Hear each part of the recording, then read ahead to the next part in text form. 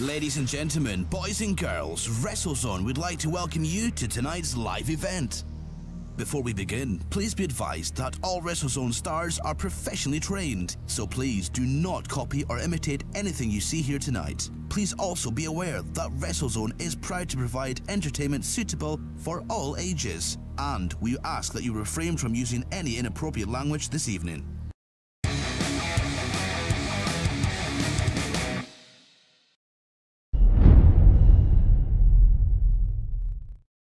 Hello and welcome to the latest edition of the WrestleZone podcast. I'm your host, as always, Billy, here to give you all the ins and outs from Battle of the Nations that took place this past Saturday at Danestone Community Centre in Aberdeen. For me, a night of shocks. There was a lot that happened on the show that I'm going to try and give you as much information about.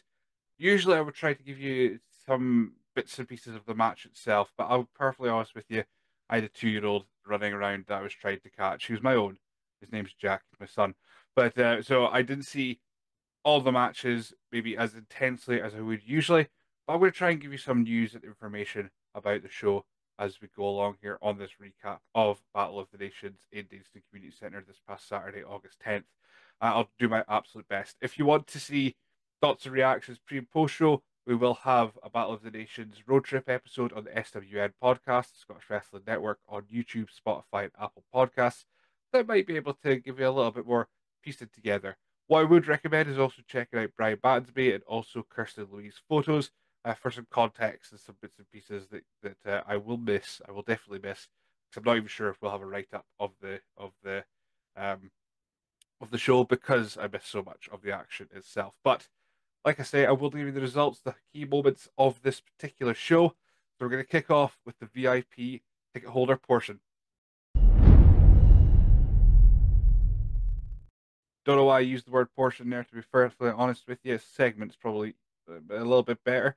But we kicked off the VIP portion with with the first of four uh, Tri Counties Championship tournament matches, quarterfinals. Uh, that were taking place at Battle of the Nations. This being Judas Gray versus Tommy Raiden. Now, this time, your writer did not get uh, a piece of clothing thrown. Your writer, podcaster, uh, your host again throwing something in his face pre-show, mainly because I may have used a shield, uh, which was unethical and terrible of me to do. But you know, I would do it again. Uh, so, so Judas Gray was uh, maybe maybe a bit off his game in that moment in time because he didn't get to do his usual pre-ritual of throwing things in my face. Uh, but the match itself, the bits that I saw and, and and was able to grab and pay attention to, Judas was was always treating it like a formality here. He was very dominant in action. He was very uh, cutting off Tommy Raiden's momentum. He was able to to do his best to keep Tommy Raiden down, but he had that air of cockiness to him as well that didn't didn't land that killer blow just at the right moment, perhaps. But he ended up getting rolled up by Tommy Raiden, which which saw Tommy Raiden go through, which was was again the first shock of the night. I thought I thought this was Judas Gray's tournament to to lose. Really, he was He's uh, one of the most exciting wrestlers in Scotland going today, and to see him see him lose by a roll up as well, a small package out of nowhere was was a surprise. So Tommy Raiden didn't have Mickey Vago with him. He did it all on his own. He was a one man like one man band going into this match. He didn't have Vago there. So Judas Gray was was on his own as well. So this was an even contest. Uh, like I said, Judas was very dominant, but ended up getting defeated, ended up having his shoulders to the mat for a three count. There was a very close call. Tommy Raiden had a couple close pinfall attempts, uh, including a crucifix that almost got the win, but it was a bit too close to the ropes, and Judas was able to, to use them to roll out. Uh, but there was there was some moments for Tom Raiden, and he was able to capitalize and get that three count. So Tom Raiden moves on to face the winner of Alex Webb and Captain Alan Sterling in the Tri Counties tournament, which we'll talk about in a little bit. Uh, so that was that was that was that pre-show match. Before we get on to the main show, got to talk about the thing that happened before the main show started itself. What I will notice is Richard R. Russell appeared. Richard R. Russell, I'm getting secondhand information on this. I've got some video footage that I can look through that that uh, will be available on the montage of the Scottish Wrestling Network episode for Battle of the Nations, our 300th episode of the podcast. If you want to go, I keep eye out and ear out for that. It will be on patreon.com slash ScotWresNet in the coming days. Um, Richard Russell bought a general, general admission ticket. You know, he he saved he saved that three quid there by getting the, the general admission. But when he arrived, Damien also made his way out. He stormed out to confront Richard Russell, but security, uh, Scotty Swift and Omar Mohammed were there to try and subdue the try and calm the situation down before before it got uh, any as Mr. P has said uh, before it caused uh, a lawsuit uh, before it caused anything like that. So tempers were already high going into this event with the like with Richard R. Russell's just just uh, betrayal of Sterling Oil at Aberdeen Anarchy, and that temper was, was still at an all time high when we came into Danestone for Battle of the Nations, especially on Damien's side of things. So it was calmed down before the show, main show started, just after the ticket holder match. Uh, we'll see if that if that had a bearing later on in the event. We kicked off the main show with the WrestleZone Tag Team Championship match as the outfit were looking to get their titles back following Aberdeen Anarchy's loss to Flippy and Drippy. We had Ronan King and Connor Malloy come out here with the titles, looking absolutely fantastic with their, their phenomenal drip. But it, I, I don't know what I was saying now as a 34 year old man, but I, I'm assuming the drip was cool. It was fleek. It was a vibe. So they came out, and this this got started before even the bell rang. Uh, we had the outfit get assaulted, get jumped by Flippy and Drippy as Rowan King and Connor Malloy looked to weaken the already weakened Ted O'Keefe uh, when he came in with his shoulder all strapped up. Uh, eventually, Ted O'Keefe got his arm wrapped around a ring post and, and kicked, and just stomped on, which sent Ted O'Keefe to the back. He was carried out uh, to the to the backstage area, leaving Murphy on his own to do battle. Murphy accepted the challenge. The bell rang. It was it was essentially a handicap match. Uh, but like I said in my preview, like I said in my preview, I, I said this that it said the outfit versus. I mean, the match graphic had Ted on it, but the back but it said Ted. It was it was the outfit versus Flippy and Drippy. Didn't say which two members it would be of the outfit. The match graphic had Ted, but that was no guarantee. It was the outfit that was getting their rematch clause uh, activated, and they operated under the Freebird rule, even though they didn't have the chance to. But then Dino arrived, just as it looked like Murphy was going to be. Well, Murphy had actually was able to was able to get an opening. He was in the corner. He lifted his hand up to get a tag, and there was nobody there. Then the outfits music hit, and out came Dino to a massive reaction to the Danestone Community Centre uh, crowd. The, the, the pop was unbelievable.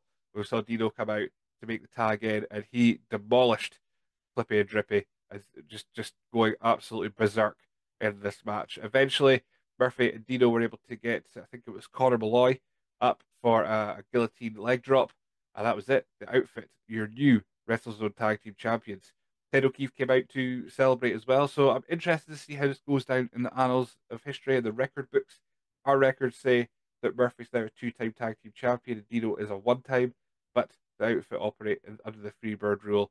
Uh, so will it be a case of Ted O'Keefe will go back to defending the title once his shoulder heals up? That's that's the question there. So a shock a shock, I think, for for Flippy and Drippy to lose the title on their first defence. They didn't even successfully defend the titles. They won them at Aberdeen Anarchy and then lost them uh, at Battle of the Nations with no main card show in between. So it's interesting to see where that goes from there.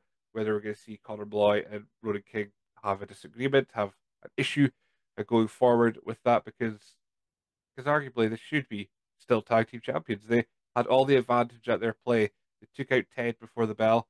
Uh, they, I mean, they didn't know Dino was going to be there, I suppose, but they had every advantage to wrap up Murphy as early as possible. And unfortunately, they didn't take advantage of that, which allowed Dino to come out and make the tag in. Uh, people may, go, oh, but but Dino wasn't wasn't registered to be in the match, kind of thing. The bell hadn't rung. For one thing, Mr. P's there on hand as a representative of WrestleZone management he's got the final say for some of these things as well. So it was all things that played into the outfit's favor that saw them become the new WrestleZone Tag Team Champions. In our second quarter final match in the WrestleZone Tryout Easter.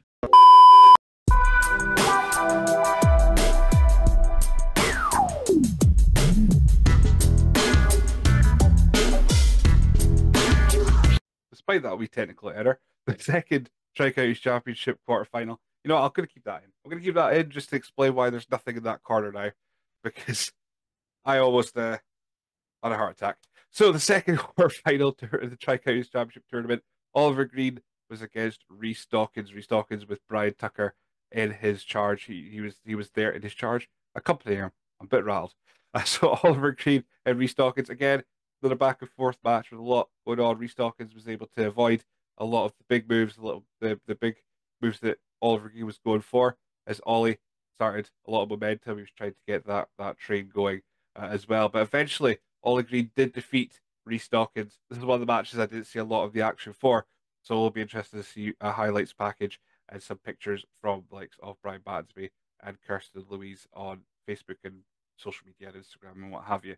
Uh, but what we do know is Ollie Green defeated Rhys Dawkins and is moving forward into this, the semi-finals of the WrestleZone Strikeouts tournament. I wish I could tell you more about this, but uh, like I, say, I didn't see an awful lot of it. I did see um, some moments with Oliver Green when he was building that momentum up, momentum up, but uh, Dawkins was was able to cut him off the best time. He even went for a little retali- retaliatory standing moonsault, but Oliver Green was able to to uh, well, Rhys Dawkins changed his mind and did a big elbow drop instead, which was I love it. I love Dawkins' elbow drop. I think it's fantastic.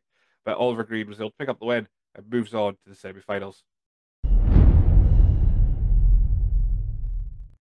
And in our first half main event, it was the third WrestleZone Strikeouts Championship Tournament uh, quarter final, with Captain Alan Sterling surprisingly defeating Alex Webb to move on to the semi-finals. And I say this as a surprise we know what Captain Alan can do. He's a multi-time champion in WrestleZone Tag Team and Tri Counties.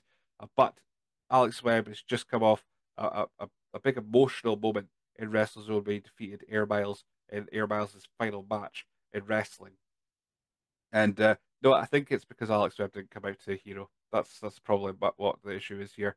He didn't come out to to Josey Scott's and Chad Kroeger's fantastic song, Hero and he went into this match with his YouTube plaque and the accusations that he is Spider-Man from Captain Alan, which possibly has, has set Alex Webb off on the on the wrong foot in his singles career in WrestleZone. Eventually, Captain Alan was able to to pull out, like say, a, a shock victory for those in Danestone with that arm trap DDT and has moved forward into the semi-finals of the WrestleZone Strikeouts tournament.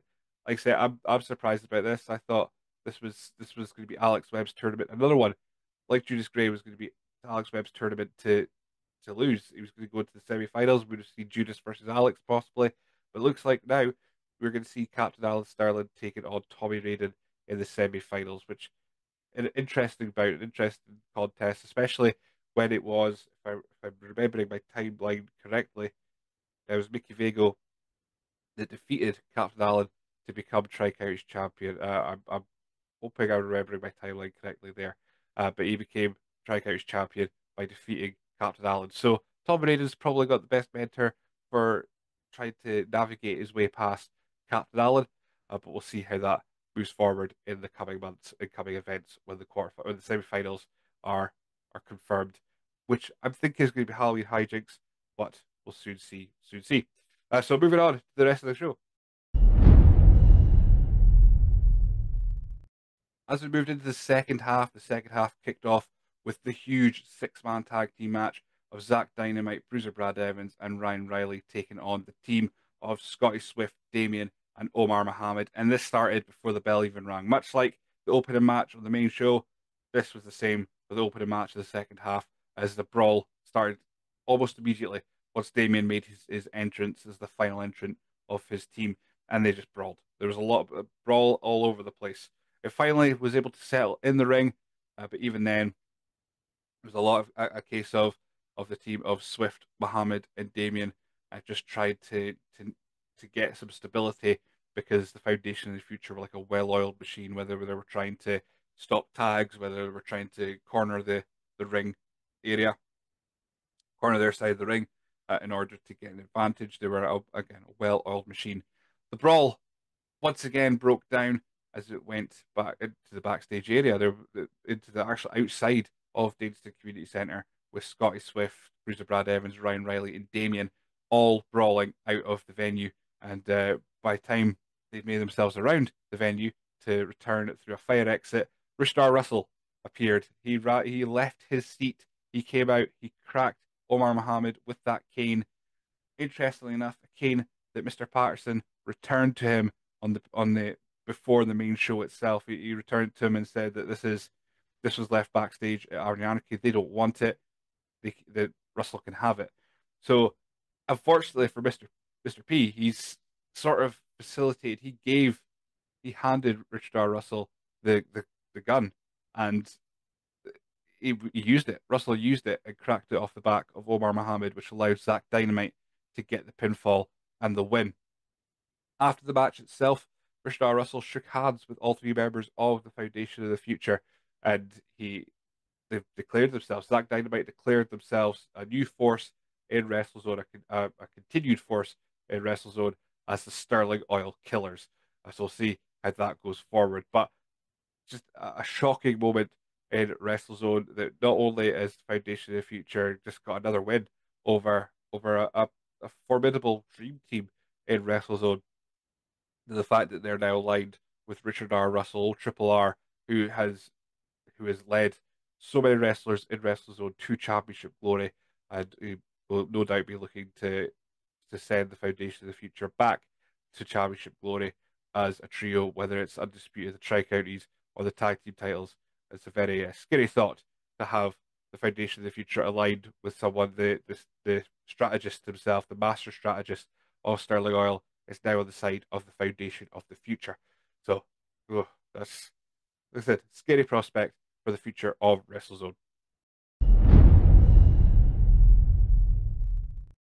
And then the penultimate match, we had the final WrestleZone Tri Counties Championship tournament quarter final when we had Brian Tucker taking on Evan Young. Again, Brian Tucker was accompanied by Rhys Dawkins in this match. Evan Young, though, no no Oliver Green, no Oliver Green in his corner. Evan Young was by himself in this particular match, which I think that that's showing a little bit of the disconnect now that, that they're both under Chris Archer's tutelage. That you would think that these guys would would have each other's backs, but there seems to be a little bit of friction with Evan Young being so vehemently against Chris Archer being their mentor, whereas Oliver Green is is is, is kind of accepted it. Maybe not happy about it, but has accepted it. And with Brian Tucker taking the win, defeating Evan Young. I mean, there was there was some shenanigans throughout the match. Of course, Evan Young had to deal with Rhys Dawkins at ringside, but Brian Tucker still won the match and is on the path to become the only second ever Triple Crown slash Grand Slam champion in WrestleZone history. In the semi-finals of the WrestleZone Tri Counties tournament, he's he's got a chance. He'll be taking on Oliver Green next in the tournament. Again, interesting because he's just beaten Evan Young as part of that that team, that unit. He'll be taking on Oliver Green next. So, yeah, very very interesting. Before we got to the main event, though, Mr. P announced that former WWE superstar Eugene will be coming to WrestleZone for Halloween Hijinks, which has been moved from, I think it was supposed to be at uh, Danestone, possibly Danestone Community Centre or Station Hotel, but it's been moved anyway to the Rich Energy Arena in Aberdeen for November 16th, I think the date was noted as. Um, so Eugene, former WWE Tag Team Champion, uh, World Tag Team Champion of WWE, uh, is coming to WrestleZone. He's coming to WrestleZone, so if people want to go and meet Re- Eugene, they can they can do. Tickets are available. They'll be t- they should be available by the time this episode goes out anyway on Monday, and you can get your tickets to see to see Eugene in WrestleZone. And in your main event, the undisputed WrestleZone Championship was on the line when Caleb Valhalla took on Mickey Vago. Both guys who were game for a brawl, they just just seemed to be happy brawling with each other. There was there was plenty of fists flying and uh, just battering each other non-stop. Saw Caleb go to to go outside the ring with some high risk. Uh, they brawled a little bit at ringside as well, with with Vago showing a bit more of an aggressive side by throwing Valhalla into the ring post uh, during the match. Uh, but eventually, Caleb Valhalla was able to to get a suplex suplex off top rope and rolled through into a jackhammer to finally get the win and retain the undisputed WrestleZone Championship. Uh, it was it was absolute hard hitting bout, a, a, a, great match between Valhalla and Mickey Vago, as you'd expect, with a crowd very much split on the camps of Caleb Valhalla and Mickey Vago throughout. So it was two fan favorites going at, at each other, and they had a they had a, a barn burner, you would say. But that's not the big story here. Big story here, as Caleb Valhalla celebrated that Regal Rumble countdown happened again. Now, I've I've pointed this out. I've pointed this out in write-ups. I've pointed this out in, in road trip episodes. I've pointed, probably pointed out in these recaps. That's at least the third time that's happened. It happened at Regal Rumble once Caleb Valhalla won the Rumble match itself. It happened at Aberdeen Anarchy when Caleb Valhalla won the Undisputed WrestleZone Championship. The his his victory Tron, his victory theme was playing, and it got interrupted by the countdown at Re- the Regal Rumble countdown.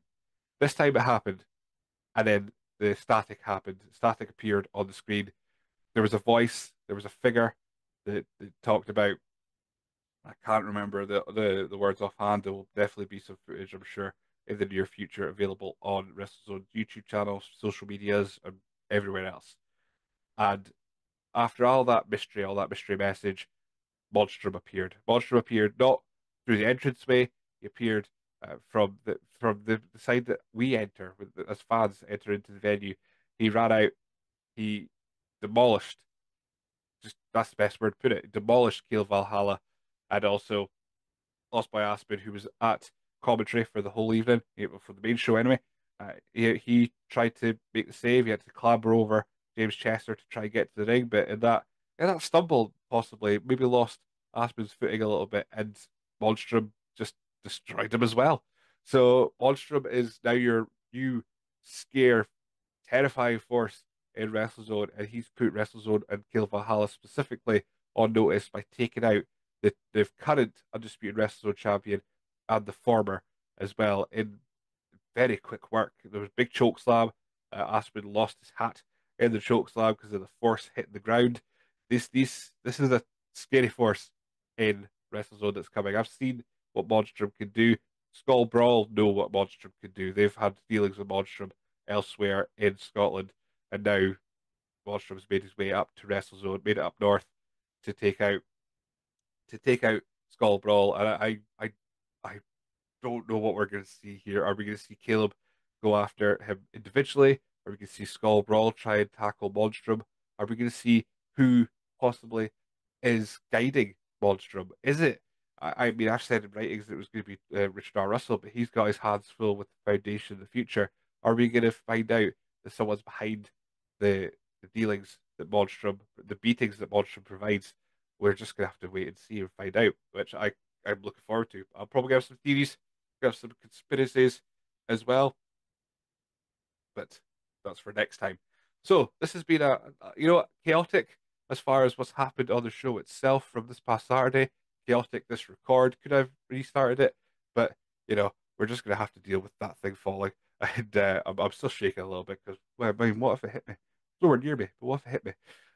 A lot of things happened here, but I have been Billy in the meantime. Uh, that's not my whole name. It's Billy Strachan. This has been the WrestleZone podcast. Keep an eye out on our YouTube channels, on everywhere, social media at ScotWresNet for more things. We'll we'll try and put some more uh, content up as as most as, as quickly as we can. Uh, but keep an eye out for our upcoming road trip episode, our 300th podcast episode. That'll be on YouTube in the coming weeks. I think it'll possibly be next week. I'm not sure. Just think how long it takes me to to do my my minor edits to it. Uh, but keep an eye out on that. In the meantime, go check out WrestleZone Scotland on your social media channels on Instagram, Facebook, uh, Twitter, X. Uh, they may still have a TikTok. YouTube. Go check out some other stuff from WrestleZone. We'll be back. I will not be at Halloween Hijinks, but the plan is I will be at Inverurie on September 7th. We'll see how that all plays out. But in the meantime, I will have previews for both. I'll previews for the rest of the year for all the shows that are coming up.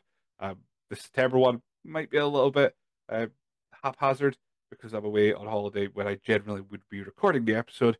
So it might not have all the matches on the that have been announced or all the promos and what have you. But we'll we'll see what we can do. And we'll try and get uh, the rest of the podcast uh, out to you as soon as possible for September for Inverurie. So Inverurie's next, Hopeville Social Club, September 7th, and then Rich Arena for Halloween Hijinks, November 16th. Keep an eye out on all the rest of those socials. They'll keep you right for any dates changes or if I've got anything wrong in those dates.